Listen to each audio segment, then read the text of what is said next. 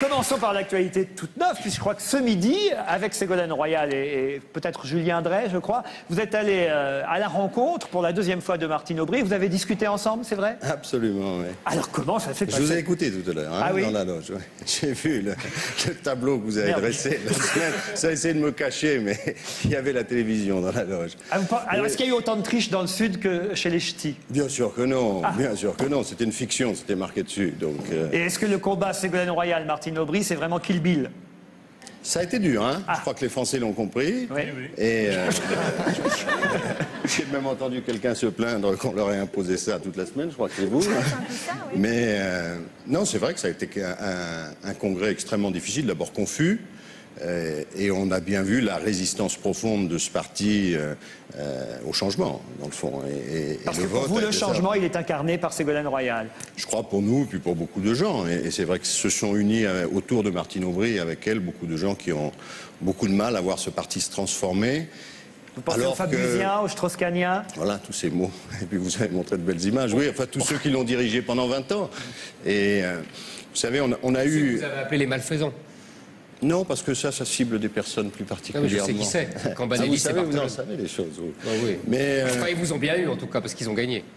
je suis pas sûr. Je pense qu'ils ont eu un peu le Parti socialiste, mais c'est pas la première fois. Vous savez, c'est un parti qui a été, vous le savez, derrière Le Pen le 21 avril 2002. Il s'en est pas remis. On a à reconstruire considérablement et on n'y arrive toujours pas depuis. Qu'est-ce qu'il y a, Kersfeld Qu'est-ce qu'il y a Là, il me dit il est au taquet. Alors au taquet. Eric, il est comme il fait waf waf. C'est vrai, hein Alors, ne commençons pas. On lui met, on lui met quelqu'un de droite, on lui met quelqu'un de gauche, du centre. Son rôle, c'est son. On l'a pas attaqué, lui. Mais il se on lui met- donne ses croquettes D'accord, avant d'accord, d'accord, On n'a pas commencé le débat, il y a quand même deux éléments d'information. D'abord, événement énorme. Monsieur Payon a rencontré Martine Aubry. Voilà où on en est. Quand deux socialistes se rencontrent, on leur dit alors, comment ça s'est passé vraiment? Ça devient un événement national. Puis on vous écoute. Vous avez réagi au taquet sur Zemmour, qui est fin psychologue, il faut reconnaître.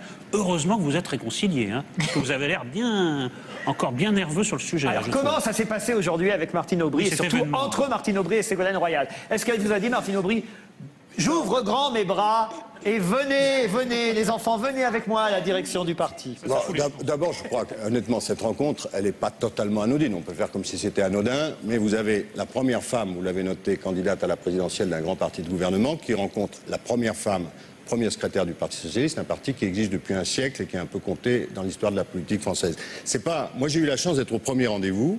On était deux hein, à assister à ce rendez-vous. Ça n'était pas rien, surtout après ce qu'on a vécu, parce que c'est normal d'en rire. hein. On peut en rire, surtout quand c'est un peu triste. Et c'est un peu triste. Mais objectivement, ce qui s'est passé dans cet affrontement, et ça n'aurait pas intéressé les médias, les Français autant, si les gens ne sentaient obscurément qu'il se passe quand même quelque chose. Et quelque chose qui est important pour les socialistes, c'est sûr, c'est 130 000 personnes, mais beaucoup plus. Bon, parce que c'est un parti pour lequel votent énormément de gens, vous l'avez vu aux dernières régionales, etc. Donc cette rencontre, elle était, bien sûr que c'est des gens qui se parlent, mais c'est une rencontre dans un moment qui est un moment très difficile entre deux personnalités qui sont des personnalités aujourd'hui qui représentent véritablement quelque chose. Alors qu'est-ce qui s'est passé aujourd'hui?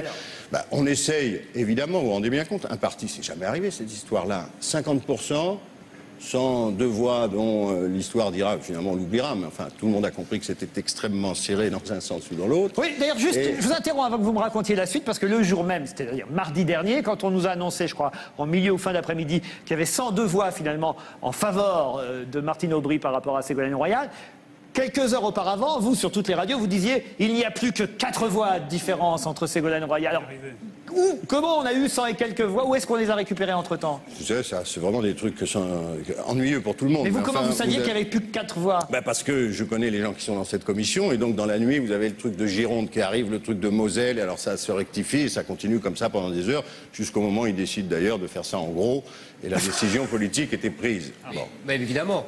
Mais parce que vous avez fait la bêtise d'annoncer la victoire trop tôt, pardonnez-moi. Et ils vous ont ajusté. Parce que comme vous trichez des deux côtés, et qu'ils ont triché dans le Nord, et vous avez annoncé votre résultat, ils ont triché un peu plus pour avoir les centres de voix de différence. Bon, c'est, possible, mais en tout cas ce matin. Non, mais, je veux dire, j'ai lu. J'ai lu là-dessus des tas d'interprétations qui sont, on a compris, vous avez fait le, le- Mais ce matin, en fait, quel est l'objet de ça? C'est d'essayer de faire en sorte que ça se remette en marche. Que quoi. tout le monde s'entende. Que ça se remette en marche. Ça veut dire que ça s'est bien passé ou mal passé ce midi? Ça s'est bien passé, mais par exemple, la, la question que vient soulever euh, Zemmour, de façon, euh, je veux dire, tout le monde sait ça, il a, il a hein, libellé la dit le parisien, donc il n'y a rien de... La question première qu'on peut se poser, qu'on peut poser à Martine Aubry, c'est est-ce que si elle dirige ce parti, puisque nous, nous sommes plutôt pour des principes de transparence, de justice, de modernité, de- etc., est-ce que la prochaine fois qu'il y aura un Ou vote, Enfin, les autres ne sont pas pour l'injustice, l'ancienneté. et- En tout cas, ceux qui dirigent le parti, qui vont continuer Enfin, de... vous, vous me donnez l'impression d'être Miss France. Je suis pour la paix. Oui, moi aussi. En tout cas, ceux qui dirigent le parti depuis 10 ans n'ont pas changé les procédures. Donc on pourrait se dire, pour pas se donner ce ridicule devant tout le monde, euh, d'avoir des trucs dont on ne sait pas si c'est légitime ou pas, ça ferait partie des progrès possibles du parti de faire en sorte qu'on ait des procédures qui soient transparentes. Bon, en tout cas, on l'espère, évidemment, pour vous, vous allez finir par vous, Vous entendre. Qu'est-ce qu'il y a, Hélène Ségara Je, je trouve qu'on sent vraiment le licencié en philosophie quand il parle. Agrégé, il est agrégé, Même euh, agrégé. oulala. Non, mais il y a pas de- Attention, excusez-moi, du, excusez-moi. du- du Parti Socialiste, bientôt Non, mais c'est licencié. c'est vrai. Euh, Il y a deux parcours différents là, de, de- de- mais, mais c'est vrai que finalement, il je trouve qu'il ment pas pour l'instant. En tout cas, il faut rester philosophe quand on est au Parti Socialiste, ça c'est sûr. Est-ce que vraiment vous allez avoir des chances d'avoir des postes au sein de, euh, voilà, de, la direction du, du PS Est-ce qu'elle vous a promis des postes, Martine Aubry, aujourd'hui? Est-ce que ça, ça a avancé ou pas? Pas vous décevoir, Laurent, mais euh, la dernière fois que j'en ai eu un au Parti Socialiste, j'ai démissionné, ce qui est assez rare. Ah. Et c'est vraiment pas l'objet de la discussion aujourd'hui. Franchement, ce serait dé- déjà, on est assez ridicule. Oui. Si en plus, euh, on venait pour avoir des postes qui sont quand même très importants, vous savez, secrétaire national ou machin truc, c'est quand même pas l'objet. L'objet, c'est qu'est-ce qu'on fait de, de ce principal parti d'opposition qui est coupé en deux aujourd'hui qui n'a pas bien travaillé dans les dernières années, qui a été incapable. L'idée, c'est de euh, trouver un programme commun, comme on disait au temps de l'Union de la gauche, euh, ouais, entre enfin, bon Marchais et programme, des méthodes pour l'élaborer déjà, Ouais. ce serait bien. Bon, alors des méthodes pour trouver un programme commun, alors, sauf que manifestement, euh, l'envie, le désir euh, d'avenir et le désir présidentiel de Ségolène Royal, c'est ça qui semble gêner l'autre camp, le camp. On est obligé de dire majoritaire, hein, même si c'est par cent et quelques voix, le camp de Martine Aubry. Et vous-même, d'ailleurs, vous semblez gêné par la déclaration que euh, Ségolène Royal a faite face à, ses sympathisants cette semaine et qu'on a pu voir non seulement sur les chaînes de télévision, mais avant tout sur Internet. Regardez. Je sais que le résultat d'aujourd'hui n'est pas celui que vous aviez espéré, moi non plus, pour te dire. Et en même temps, nous sommes partis de tellement loin, nous sommes arrivés à convaincre euh, la moitié des militants du Parti socialiste qu'il fallait une transformation profonde. La moitié, que dis-je Sans doute un peu plus, car nous n'avons pas eu droit à un nouveau vote. C'est comme ça. J'ai besoin de vous. J'ai besoin de vos idées parce que nous continuons. 2012, c'est bientôt. 2012, c'est demain. 2012, c'est dans trois ans. Et donc, c'est dès maintenant que nous nous y mettons. Alors. Elle y pense toujours, Ségolène. C'est normal, en même temps, c'était la dernière candidate, puis elle n'a pas fait un si mauvais euh, euh, résultat face à, Nicolas Sarkozy, même si elle a perdu. Euh, et, et on, pardon, d'ajouter, on comprend même mieux peut-être pourquoi elle a perdu, vu ce qui s'est passé depuis 15 jours au Parti Socialiste. Parce que si elle a été autant soutenue pendant la présidentielle qu'elle l'a été pendant les 15 derniers jours, on comprend effectivement ses difficultés. Mais alors, euh, là, vous, aujourd'hui, vous semblez gêné par le fait qu'elle mette encore en avant sa candidature pour 2012. Non, mais moi, ça ne me gêne pas du tout. Il y en aura d'autres, hein. Fabius, Strauss-Kahn, etc. Dans la semaine que l'on vivait, dans la discussion qui était ouverte au moment où les médias rendent cette chose-là publique, c'était pas l'objet principal. Donc, j'ai simplement dit que pour ceux qui l'entouraient, qui l'avaient soutenue, parce que après la présidentielle, elle s'est retrouvée assez seule et qui ont fait tout ce parcours pendant un an et demi. euh, qui se retrouvaient dans la bagarre que vous avez suivie, ben, ce jour-là, ce n'était pas la préoccupation immédiate que nous avions, on en avait quelques-unes avant. Éric Zemmour Non, moi, je voulais vous dire que j'avais bien, je crois avoir compris euh, la différence fondamentale entre euh, Ségolène Royal et Martine Aubry, c'est que vous vouliez, avec Ségolène Royal, euh, noyer le, vieux parti, ce qu'on appelle le vieux parti, le, Parti socialiste d'aujourd'hui, que c'est 130 000 adhérents, sous, un, sous un flot d'adhérents, disons 300 000, 400 000, euh, pour essayer de lui imposer euh, ce qu'on appelle des logiques d'opinion et non plus euh, des logiques militantes, euh, de, de militants qui discutent tout, etc., selon la vieille méthodologie du Parti socialiste. C'est ainsi qu'a agi Tony Blair, si j'ai bien compris, euh, avec le, le- le vieux en Labour. Grande-Bretagne. Voilà. Mais Et en, et en Italie aussi, que- puisqu'il y a eu et un en Italie exemple. aussi. Mais ce que je ne, en revanche, ce que je ne vois pas, on dit le Parti socialiste est divisé en deux, certes, mais en fait, il est divisé en quatre, parce que sur le plan idéologique, sur le plan idéologique, il y a très peu de différence entre Ségolène Royal et Martine Aubry. Elles sont toutes les deux euh, pour l'Europe. Elles ont, voté euh, oui à la Constitution européenne. Elles sont toutes les deux des laïcs, je dirais, euh, un peu tièdes. Elles sont toutes les deux pour le libre-échange, parce que c'est les vraies questions aujourd'hui qui se posent, et vous le savez mieux que moi. et là-dessus, elles sont d'accord sur tout. Donc c'est un faux clivage en plus. C'est un clivage qui, qui vous met complètement à la rue et c'est un faux clivage. Et ce qui prouve bien. Alors, c'est quoi la ce- différence? C'est Chabichou contre le Maroilles Mais ce qui prouve bien que ce parti, en fait, ce parti est, est- est- est cliniquement mort et qu'il n'est en fait que le rassemblement de grandes fédérations locales, de gens qui jouent que leurs euh, petites élections locales euh, et qui ne s'intéressent qu'à ça. Nolo, et après, on laisse répondre Monsieur Payon. Non, mais d'abord, euh, je reviens juste un peu en arrière. Je- en effet, une, une agrégation de philosophie au PS, ça me paraît pas très utile. C'est plus la, la désagrégation qui règne que. Si vous étiez désagrégé de philosophie, vous auriez toute euh, votre place. Non, je suis pas d'accord euh, avec Zemmour, mais c'est pas seulement le, le- le- le fait de faire un bon mot, agrégé, désagrégé. Moi, c'est votre cas personnel qui m'intéresse encore plus que le PS. Je me demande ce que vous faites dans ce merdier. À titre personnel. Euh, D'un point de vue familial, vous venez d'un milieu qui était plus à gauche que, que le PS, et là, vous êtes en train de vous battre courageusement pour une sorte de socialisme sans contour et sans vision qui est le, qui est le royalisme. Vous êtes un homme d'idées spécialiste de Merleau-Ponty. C'est pas n'importe quoi, Merleau-Ponty. Et là, vous vous débattez dans une absence de pensée qui règne euh, depuis des années au PS. Parce que la crise, en fait, elle date de bien plus longtemps. Il y a une absence de pensée totale, qu'elle soit politique, économique. Ces gens-là n'ont rien à dire. Et moi, je vous le dis, mais vous, vous devez le savoir mieux que moi, le peuple de gauche n'a pas une patience infinie.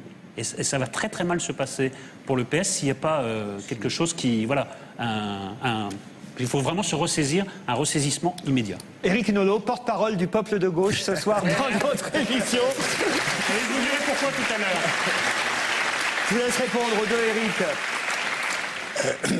D'abord, tout ce qui est euh, caricature, ce, ce parti n'existe plus, il est mort, etc. Toutes les élections prouvent le contraire. et Les Français sont assez attachés, à juste titre d'ailleurs, à ce parti parce qu'il a une histoire et que dans leur vie, hein, que ce soit la parité, la décentralisation, l'abolition de la peine de mort, enfin bon, les grandes réformes sociales, heureusement que ce parti, la liberté de la presse, les libertés syndicales, heureusement que ce parti, dans toute son histoire, a été là. Les Notez qu'on a 35 pas Qu'est-ce que vous heures, l'autre. 35 heures. Les 35 Et je heures. préfère le travail le, bon, le bah, dimanche c'est sur vrai. lequel vous avez fait un bon mot d'ailleurs tout à l'heure. Mais bon, donc je crois que et, et- et l'espèce Les de pensée dominante et actuellement qui consiste à piétiner ce parti allègrement, etc., y compris quand il donne ses spectacles, qui valent à mon avis aussi bien que les carnets de M. Bertrand ou les affaires Villepin-Sarkozy. Mais vous les faites oublier, M. Payon, c'est ça Bon. qui, est, qui est plus fort. Ce qui se passe à l'UMP est beaucoup plus violent en réalité que ce qui se passe au PS. Parce que c'est la justice qui est un peu utilisée. Mais personne n'en parle. Tout le monde s'en fiche parce que c'est vous donner le spectacle quotidien de vos divisions. Mais ni Zemmour ni moi, on a dit que ce parti était mort. On vous a interrogé, un, sur votre cas personnel, ça c'était moi. je vais vous répondre. Oui, mais c'est comme ça tardait un peu, je me permets de vous le rappeler. je vous inviterai. Parce que... Mais la deuxième chose, c'est qu'il y a deux façons. Moi, j'ai toujours considéré, vous savez, une infirmière, un instituteur, vous-même, on est dans la cité, on fait. Moi, je n'ai pas fait de politique jusqu'à 35 ans, ce qui est assez rare d'ailleurs dans ce parti qui recrute beaucoup chez les morts. Mais quand vous êtes quelqu'un de gauche, et donc j'ai adhéré au Parti socialiste très tard, après 93, et précisément parce qu'il allait mal, parce que sinon j'étais assez bien dans ma salle de classe, j'étais assez bien dans mon travail, et je me suis dit, au bout d'un moment, plutôt que de faire ça, critiquer, protester, moquer le parti pour lequel euh, je vote, je vais sortir euh, de mon soliloque, qui est finalement facile, et je vais essayer de me colter à cette réalité politique et essayer autant que je peux de le transformer. Et donc ça fait depuis 94 qu'effectivement j'essaye, à travers des bouquins, mais aussi des actions politiques, des motions, des congrès, des- etc., des fonctions, et bien de faire en sorte que la gauche, qui est ma famille, le Parti socialiste, qui est ma famille, je suis extrêmement attaché euh, à cet idéal porté par le Parti socialiste, ben, retrouve un peu de fierté. Et je conseille à tous ceux qui sont de gauche et qui sont malheureux de la gauche telle qu'elle est, bah, de rejoindre le Parti socialiste pour le transformer. Parce que si on le laisse qu'aux personnes dont on pense qu'ils ne font pas bien les choses, il y a une contradiction. J'ai envie, euh, pardon, hein, mais puisqu'on a trois Eric réunis là de ce côté-ci, Eric euh, Orsena, j'ai envie de vous demander vo- votre avis et votre constat sur ce qui s'est. moi, moi, moi, je, je- je respecte euh, des choix euh, comme celui de, de M. Payon. C'est que c'est plus facile euh, d'être dans ma position, par exemple, où je voyage à travers le monde, voir un peu ce qui se passe et de ne pas plonger dans ce parti. Moi, je suis d'accord avec Éric Zemmour. Le conflit de personnes euh, ne recoupe absolument pas les vrais conflits. Et il y a un vrai choix décisif de, à l'intérieur de ce parti, et c'est pour ça que je me suis euh, éloigné de ce parti. Est-ce qu'on est pour l'Europe? Est-ce qu'on est pour, d'une certaine manière, l'économie de marché, d'un côté? Et ça, au fond, Ségolène et Martine et Strauss-Kahn sont sur cette ligne. Le libre-échange plus Le- que l'économie de marché, Exactement. C'est un et vrai de l'autre côté, est-ce qu'on est pour une gauche qui, pour moi, est un peu magique en disant on va augmenter les impôts, on va multiplier l'action de l'État sans savoir Fabius. comment le faire Et ça, c'est Fabius qui s'est découvert cette ligne-là, c'est Hamon, etc. Et sans Ah, pourquoi vous arrêt. dites qu'il s'est découvert cette ligne-là Fabius, bien sûr. Attendez, Fabius, il s'est découvert d'extrême gauche il y a encore assez peu de temps. Donc moi, j'ai de l'amitié pour lui, mais pas sur ces questions-là, pas sur l'Europe. Donc ce que j'attends, moi, de ce parti, c'est une ligne claire. Et à ce moment-là, moi, j'abandonnerai ces, ces grands, ces grands voyages et je serai prêt à redevenir militant, ce que j'ai été 20 ans. Et vous-même, vous étiez pour le 20 non. ans. 20 ans, donc c'est une vraie tristesse maintenant. campagne. Et regardez partout en Europe, partout en Europe, il y a un effondrement des partis de gauche. Pourquoi, Oui, pourquoi Il faut réfléchir. C'est la relation avec l'État, c'est des vrais choix précis avec des obligations de résultats. De résultats. De résultats. euh, L'inégalité augmente, euh, Ah la classe moyenne s'effondre, notre position industrielle est de plus en plus faible. C'est des questions, ça. Il faut des réponses. Il ne faut pas se battre sur des trucs et des pensées magiques et des faux Alors, on laisse répondre. Monsieur Rapidement, euh, ils ont à la fois raison et pas tout à fait. Raison parce que, en apparence, et moi je le croyais d'ailleurs, que cette question, euh, dans le fond de l'engagement européen, de l'acceptation de l'économie de marché, euh, de l'État préventif, plutôt, bon, était une chose acquise pour la grande majorité, à part Benoît Hamon, Henri Emmanueli et Fabius, selon les orientations du vent. Manifestement, c'est pas le cas. Parce que quand on regarde dans ce congrès, derrière la querelle de pouvoir et de personnes, qui est très forte et indiscutable, qui sont les alliés de Martine Aubry? Et qui sont les alliés qu'elle se souhaite encore pour la semaine prochaine? C'est effectivement Laurent Fabius, Henri Emmanueli, Benoît Hamon. Donc elle est en train de changer. Et moi je trouve, mais justement il y a une contradiction majeure. Et donc Ah oui, vous, ça, avez, je suis d'accord. vous avez quelque chose est enfin. qui est quelque chose de ne pas vouloir accomplir la mutation que nous voulions accomplir, qu'on a accompli d'ailleurs à travers des tas de choses déjà euh, dans la campagne présidentielle, à la fois la reconnaissance de euh, la nécessité de ne pas moquer les entreprises, la France métissée, l'importance du développement durable, plein de thèmes qui sont, euh, je crois, les thèmes classiques des progressistes, la démocratie jusqu'au bout, qui est un vrai sujet, euh, y compris avec les questions des médias, et là tout d'un coup on a une résistance. Résistance qui porte peut-être sur la question du pouvoir, mais qui s'habille quand même idéologiquement, puisque Martine Aubry est alliée à tous ces gens-là, même si avant c'était pas sa tasse de thé. Et moi je vois, il y a deux partis. Finalement, quelle est la grande affaire française? C'est que la gauche française est malheureuse et orpheline d'une certaine façon depuis le début du XXe siècle. Pourquoi? Parce qu'elle a toujours été dominée depuis 1905 par euh, ce qu'on appelle, nous, le surmoi marxiste. C'est-à-dire que Jaurès a dû plier en réalité devant des gens qui nous disaient c'est l'État contre l'individu, c'est etc. Qui nous a complètement décalés par rapport aux autres partis sociaux-démocrates européens. Cette affaire-là, il faut la clore. C'est la grande affaire historique. Et ça fait dix ans qu'on essaye de la clore. Et cette fois-ci encore, Martine Aubry, dans des alliages extrêmement variés, ne veut pas la clore. Or, qu'est-ce qui est intéressant derrière Ségolène Royal? Et que sentent obscurément les gens qui n'ont pas cette tradition Ils nous ont vendu le parti d'avant-garde. 50 000 personnes pensant à la place de tout le monde, ça irait très bien. C'est comme ça que vit le Parti Socialiste depuis. Et puis quelques grands élus. On veut rompre avec ça, parce qu'on veut un parti de toute la société, ouvert, etc. Donc c'est un enjeu politique majeur, et Ségolène Royal, dans cette affaire, l'incarne. Et la violence de la résistance à laquelle vous avez assisté, y compris ces trucs qui vous font rire, c'est ça. C'est ce parti qui, tout d'un coup, ne veut pas quitter cette habitude qui a fait d'ailleurs que quand on gouvernait, il y avait toujours un grand écart entre, et vous l'avez bien connu, les discours pour gagner, les nationalisations, la planification, le machin, le truc. On était à gauche tous dans les congrès, y compris Mitterrand qui prenait son chevènement pour lui faire les trucs. Et en réalité, quand on gouvernait, on était parfois dans des dérives euh, beaucoup plus libérales même que les sociaux-démocrates. Alors, no- pays, Nono c'est et ça Zemmour. qu'il faut Nono, Oui, Nono d'abord non. et Zemmour, pour conclure. Je suis en désaccord avec ce que vous venez de dire et je suis en désaccord avec les, les- deux Eric. Moi, je pense qu'il y a un clivage idéologique. La question des alliances, je ne parle pas au sein du PS, mais soit avec le centre, soit avec la gauche, ça emporte bien des, voilà, des éléments euh, idéologiques. Et puis surtout, Oui, il y a enfin, pardon, mais Dominique Strauss-Kahn, dans le camp de Martine Aubry, je ne pense pas qu'il soit spécialement contre une alliance avec les centristes. Non, mais c'est vous vrai savez, j'ai ressorti le texte même, parce que c'est marrant, parce qu'on on brode toujours sur des fictions. Et dans cette fameuse commission des résolutions, j'ai ressorti le discours de Mitterrand d'Épinay. On dit toujours la stratégie d'Épinay, c'est le rassemblement à gauche. Et Mitterrand dit quoi? Il dit qu'il faut plumer la volaille communiste, en gros. Il leur explique ça, ce qu'il a fait d'ailleurs.